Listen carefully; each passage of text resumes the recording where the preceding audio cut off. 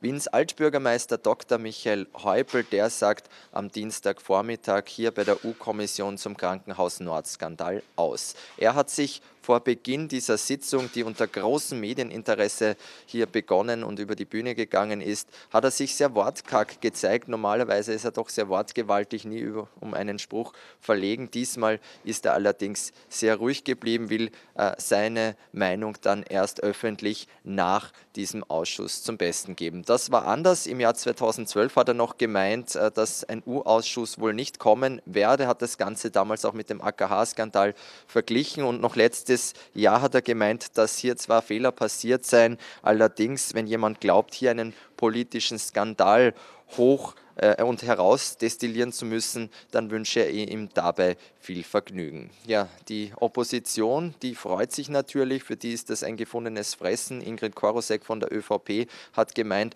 Häupl sei einer der Hauptverantwortlichen für diesen Skandal, für diesen rund 500 Millionen Euro teuren Spitalskandal. Wir sind natürlich sehr gespannt, was Michael Häupl hier sagen wird. Er ist ja nicht der einzige Zeuge, der an diesem Tag aussagen wird. Neben Häupl werden noch drei weitere Zeugen geladen. Das sind Thomas Pankel aus dem Planerteam. Das sind Bernhard Pisetzky, das war der damalige Krankenhaus Nord-Referent, noch unter Gesundheitsstadträtin unter der damaligen Sonja Wessely und auch Peter Wölfel, das war äh, der stellvertretende Programmleiter von 2007 bis 2014. Der wird dann am Nachmittag befragt werden. Wir sind natürlich sehr gespannt, was vor allem der Altbürgermeister Michael Häupl wusste oder auch nicht wusste.